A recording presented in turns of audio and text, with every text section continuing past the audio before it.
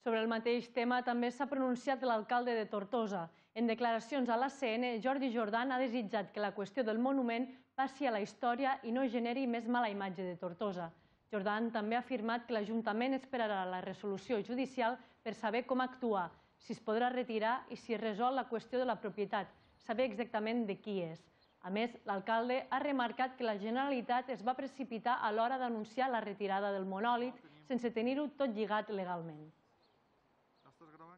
El que vull és que se solucione i que, per tant, d'una vegada per totes, aquesta qüestió mmm, passi a la història, mai més bendita, i que no genere més mala imatge de Tortosa de cara en fora, que és el que